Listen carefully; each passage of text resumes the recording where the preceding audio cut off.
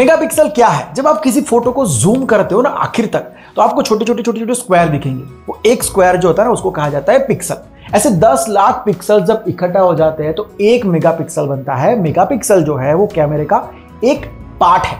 पूरा कैमरा उसी के ऊपर डिपेंडेंट है, वही अच्छी क्वालिटी दिला देगा, ऐसा नहीं है। जैसे कि कैमरे का image sensor A I enhancing aperture lens का साइज़ ये सब चीज़ें ज़्यादा मैटर करता है। अब पूरा गेम क्या है, ये समझ लो। पिक्सल जो होते हैं ना छोटे छोटे स्क्वायर, मैंने आपको बताया, उसका काम क्या है कि छोटी से छोटी डिटेल इकट्ठा करना, ठीक है? तो ज़्यादा पिक्सल्स होंगे तो ज़्यादा डिटेल्स इकट्ठा होगी, जो इमेज कैप्चर की जाएगी उसकी लेकिन कंपनीज़ क्या करती है?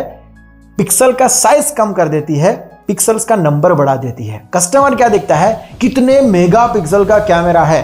पिक्सल का साइज़ क्या है? ये देखते ही नहीं। इसलिए कई बार ऐसा होता है कि कम पिक्सल वाले कैमरा भी ज़्यादा पिक्सल वाले कैमरा से अच्छी इमेज कैप्चर करते हैं।